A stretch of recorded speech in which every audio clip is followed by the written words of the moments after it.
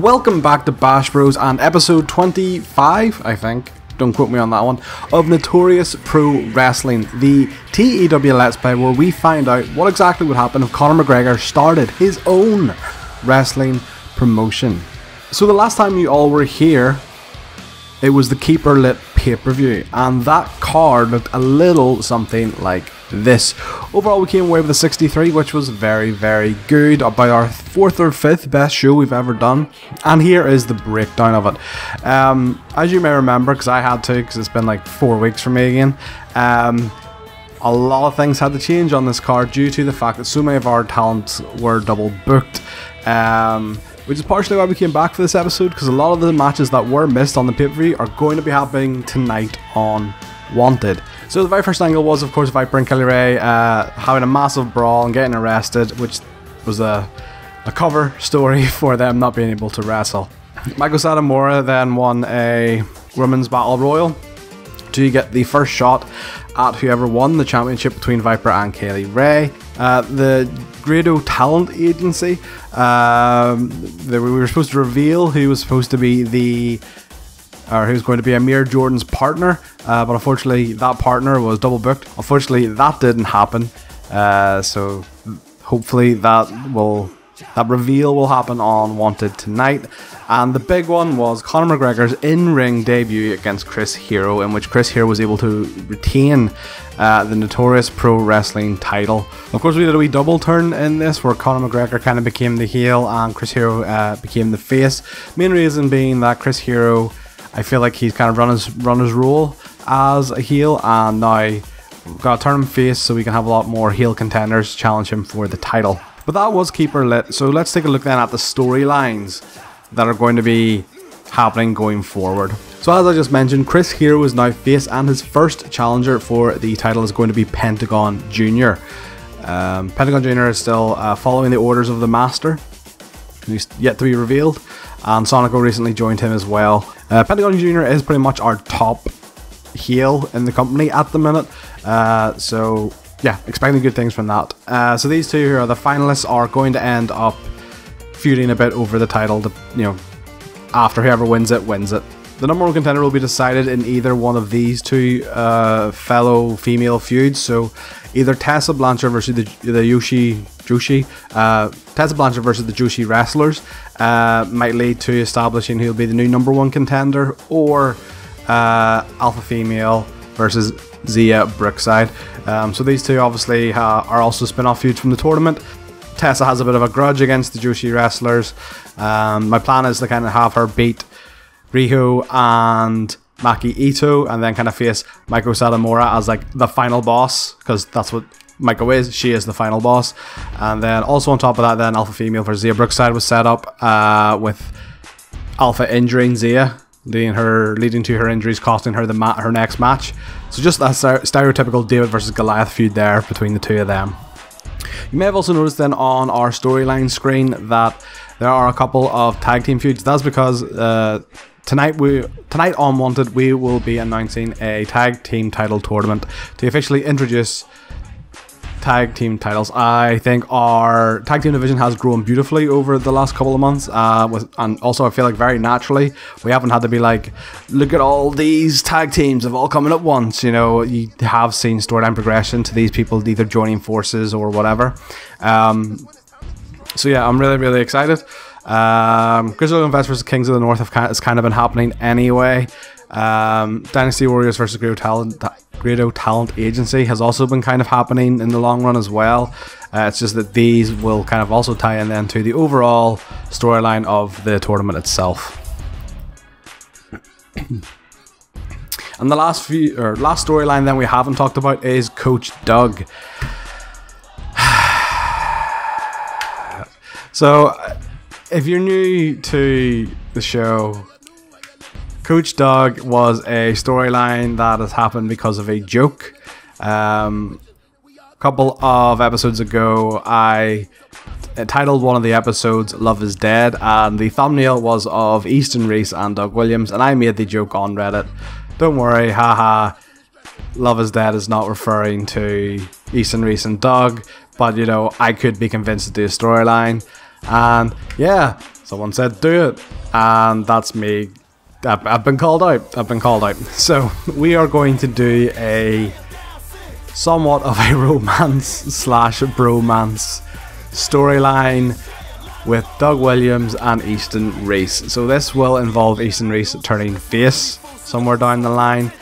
And yeah, like I, I love Doug. Doug is currently a road agent for us, and I'm glad I will happily, like really happily, put like continue to book him on screen, just not as a wrestler. Um, uh, oh, and also side note, he has recently started wrestling for ICW on the WWE Network, which I am so happy for Doug to see him who has had such like a it's like a 26 year wrestling career I think Doug Williams has had and to see him get like on the WWE network long overdue um, yeah so super happy for that uh, but yeah so Doug Williams will be becoming a coach for Easton Reese. I believe that is everything to discuss um, there isn't really any news elsewhere so, without further ado, let's get in to booking the show. Okay, and we are back coming from Belfast in Voodoo. It is Thursday. It is Thursday. Yeah, Thursday night wanted. Um, so there's a couple of wee matches I as I said before, there's a couple of matches I have taken from the pay per view that were missed and put them in here. Uh, and we are main eventing with the women's title match that should have been on the pay per view. Uh, between Kay Lee Ray and Viper. Uh, also, on top of that, then we're looking at furthering the Joshi Wrestlers versus Tessa Blanchard feud, and again, as I said earlier, uh, the announcement of the tag team tournament. So let's get into it. So on the pre-show then, uh, I had Sonico and Pentagon Jr. Again, this was one of the matches from the pay-per-view.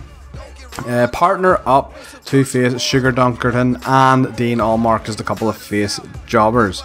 Uh, this is just to give uh, Sonico and Pentagon a bit of momentum. So in a superb match, Sonico and Pentagon defeated Sugar Dunkerton and Dean Allmark in 1437 when Sonico pinned Sugar Dunkerton. Uh, Pentagon was head and shoulders above the rest, I assume that, and Sugar Dunkerton was the weak link. Uh, 52 overall, very good. Pentagon 65, like, man, he, it was a pre-show and he just brought it anyway. um, Sonico 50, Dean Allmark 47. Again, like, that's really good from Dean, who is considered a jobber, so I'm glad I kept him about. Uh, and Sugar Dunkerton 38. So still on the pre-show and backstage, Tessa Blanchard says she was able to find a partner just as big and bad as herself to face the Joshi wrestlers tonight, and that is Alpha Female. Um, this isn't going to be a, a, constant pairing going forward. This is kind of just heels doing heel things, the thwart baby faces. Um, 39 overall. Uh, I'm not surprised. Neither woman is particularly great on the mic, but that's okay. So, opening up the show, we have Conor McGregor announce the tag team tournament. And the brackets look a little something like this.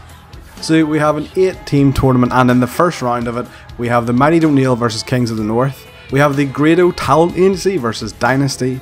Uh, we have the Birds of Prey versus the Cyborg Wolves and we have Grizzled Young Veterans versus the Filthy Generation.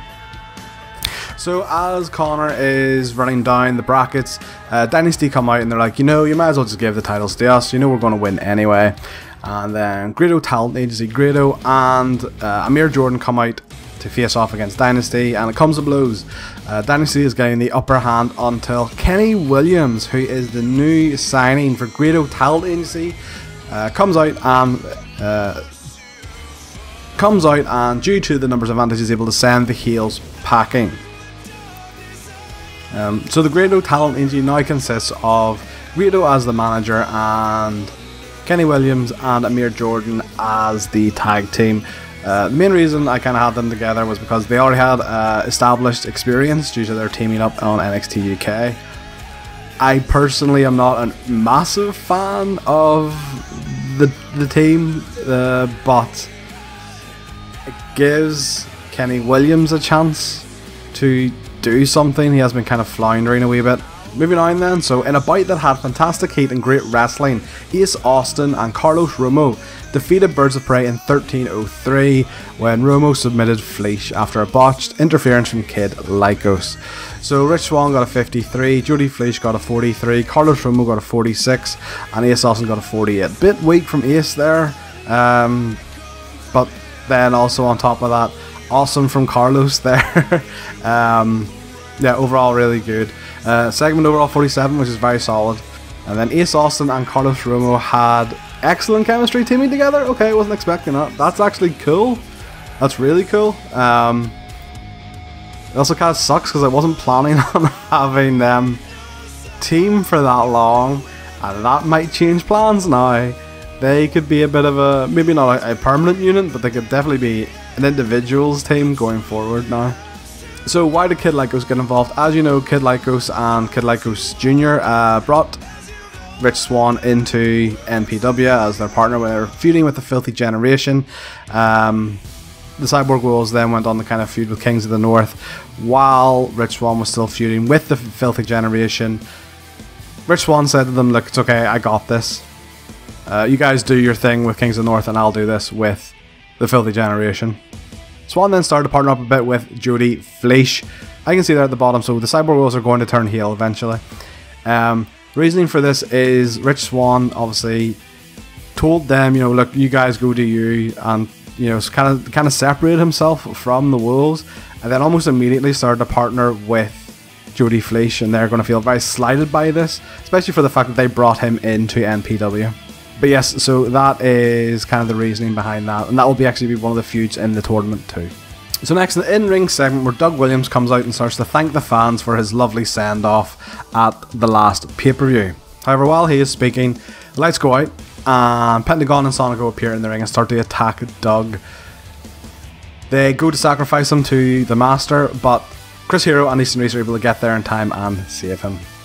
55 segment overall. Uh, Pentagon and Hero probably would have carried this segment because they're the two best on the mic. But yeah, so this is done to one, kind of establish that connection between Pentagon and Chris Hero, because obviously they're going to feud going forward, and then also to establish that connection between Easton Reese and Doug Williams. For the Coach Doug storyline. Next up, in a good match, Riho and Maki Ito defeated Tessa Blanchard and Alpha Female in 1539 when Maki Ito pinned Tessa Blanchard. Don't know why it said using underhand tactics. That wasn't supposed to be what happened. Uh, but we'll get into that in a minute. So Maki Ito got a 42, Riho got a 44, Alpha Female got a 41, and Tessa Blanchard got a 46. Maki Ito has a lot of bonuses at the minute between her connection with young female demographics and having a groundswell of public support. Overall, 43. Um, so I don't know why it says underhand tactics. What was supposed to happen was Xia Brookside was supposed to come back and distract Alpha Female, leading to her kind of coming away from the match long enough for the Joshis to get the win on Tessa, which then does two things. One, it furthers the feud with the Joshis and Tessa, because uh, Tessa can be like, "Oh yeah, you, you can only win by being sneaky." Um, and then you know, uh, then also continues the feud of Alpha Female versus Xia Brookside, because Xia Brookside continues to be a thorn in the side of Alpha Female. And in the main event, in a bout that had fantastic heat and great wrestling, Viper defeated Kay Lee Ray in 2022. And Viper wins the Notorious Pro Wrestling Women's title. Uh, Kelly Ray had a 52 and Viper had a 45. I'm going to tell you why I decided to go with Viper as my first women's champion. So, one, is that she was very uh, prevalent in my mind because she has recently debuted on uh, WWE Raw as fucking Doudrop. um, which is a fucking slap in the face to anyone who has followed her career up until NXT UK. Um, fucking Doudrop. Jesus Christ. Don't get me wrong, I am so happy that Viper is on Raw and in WWE, and that's awesome. But pairing her with fucking Eva Marie and calling her Doudrop. Anyway, that's the first reason. The second reason is in my first playthrough of this, uh, like when I did, before I recorded it, Kelly Ray was my first choice, and I kind of didn't want to go down that first route again. Uh, because I want to try something new, I want to keep it different from what I did it the first time. Uh, just to kind of keep it interesting for me uh, more than anything else. And thirdly, um, I wanted it to be, I wanted the winner of the women's tournament to be very different from the winner of the male tournament. So when we did the male tournament, the P12, uh, Chris Hero won the title, which is a which was a American heel, uh, and in this one I kind of wanted to be a bit more of a a feel good story. So I wanted a British female or British face female wrestler to win this one. Um, and Viper is just a fantastic face. Um, she really is like. Yeah, so those are my reasons why I wanted to go with Viper instead of Kelly Ray. Yes, Kelly Ray is probably the better worker in this, um, but I feel like Viper after a couple of wins, getting a bit more momentum and getting more over, we'll probably start be able to match Kelly Ray in terms of in-ring performance. So that is the end of the show. Uh, 53 overall, which is good. Um, I am happy enough with that. I think uh, the women main event. Also, WWE, take note, you can have women main eventing and not shove it down our throats that they're main eventing. That's what really quality is. Sorry, that's just my rant. Anyway, so um, yeah, so Viper and Kay Lee delivered a main event level match at 50, which is great. And then yeah, Conor McGregor's promo, the announcement of uh, the tag tournament is also uh, was was also a strong segment. So overall, 53, very happy with. So news coming out of Wanted is not very much, although I will say. Um, so Kings of the North in Over the Top Wrestling, same Kings of the North as ours, but just obviously a different faction for a different company. Um, Trent Seven was apparently a part of it and got kicked out, but Mark Haskins made way. Woo! I don't think the AI gets what the whole theme of Kings of the North is supposed to be. uh, okay then. Yeah, sure because Mark Haskins and Trent Seven are Northern Irish. Fucking hell. Anyway, uh, no real news otherwise that I can see. But yes, so other than that, I believe that is everything for this episode. I don't know when we will be back. Maybe July week two, if nothing happens in between. I am planning on having Viper have her first title defense then, and I am also planning on doing the Cyborg Wolves heel turn. So that might be a good uh, a good time to come back. But other than that, that is everything for this episode. If you enjoyed it, please do subscribe and like and leave a comment about any ideas that you have for storylines or anything going forward. And with that all said, I will see you next time on Bash Bros.